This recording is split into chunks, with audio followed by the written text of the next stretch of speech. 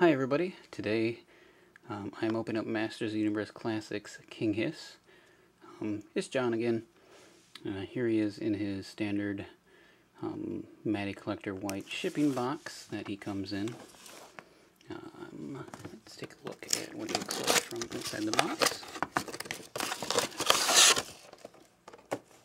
So there is King Hiss, the original version of him. Uh, very cool. Snake Man logo on the front there. Um, he comes in the standard box. Ooh, says original, which means he is a repo or second run of the figure. Um, I did pick him up recently because I was missing him in my collection. Look at him closer up in his box. Pretty cool detail on him. Uh, here is his bio if anybody wants to check that out. And uh, let me get him outside of the box. Alright, so here we have King Hiss outside of his package. Overall, he's a pretty cool looking figure. Um, he has this very interesting grin on his face. Um, I believe in the original toy line, he was the hero that came along to help He-Man and the Masters Universe battle Skeletor. Uh, but he turned out to be a traitor in the long run and is really the ancient ruler of the Snake Men who roamed Eternia long before the human beings did. And he has spent his life trying to bring them back into power. Um, he is the ruler of the third faction of villains. It's, of course, Skeletor, the evil masters, Hordak of the Horde, and um, King Hiss of the Snake Men, uh, which he had his whole army of figures to go along with him as well. It's very close to the original figure, which is amazing. Um, the original one's armor would fall off and reveal a snake underneath. This one's a little bit different, but we'll take a quick look at him. Uh, his head articulation moves up and down slightly, left and right. Great detail on his armor. Um, they had they put a lot of time into these figures at the very beginning of the line. Very good detail in the face, little snake eyes he has. He does come with his uh, snake armor, which does not look like it is removable, which is okay. Um, he does have the ab crunch articulation still, which on him is kind of a little loose. Um, his shoulders are articulated, his biceps his elbows and his wrists, which carry that same snake design through his armor. Uh, he has ball jointed hips, which are nice and snappy tight on him, which is good to see. Um, he does have an articulation of the knee and his foot, which are really tight, which is good. And that's about it on his articulation. Yep, good. And he stands on his own pretty well, even though he leans forward a little bit. Got the cool little snake logo. Uh, it does come with a couple of extra pieces.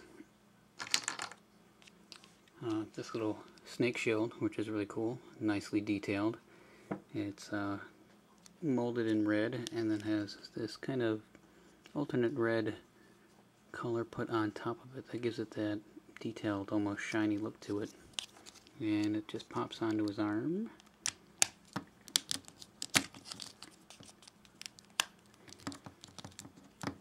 And he has his shield. And then he also comes with his snake staff which again has some really good detail on it. From the teeth to the sculpting work even the multicolored greens on it are really nice. Seems that I, well I'm relatively new to this toy line. I just started collecting it uh, last year and the older figures that I pick up seem to be a lot better produced and detailed than some of the newer ones, which is unfortunate. They are starting a couple of new toy lines next year, so the Filmation style version of the He-Man figures and the Thundercats figures, which I think I've talked about before, that I'm excited about them. Let's see if I can get him to even hold his staff. There we go. So there he is with his accessories. So the way his snake reveal is is a little bit different. You can pull him at the waist and he comes out quite easily thankfully and we just put him over there and uh, then you got this pair of legs here and you can add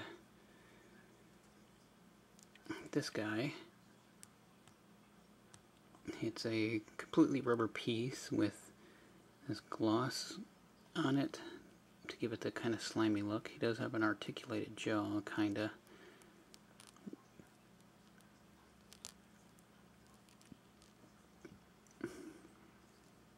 It's pretty nicely detailed. It's a little tacky.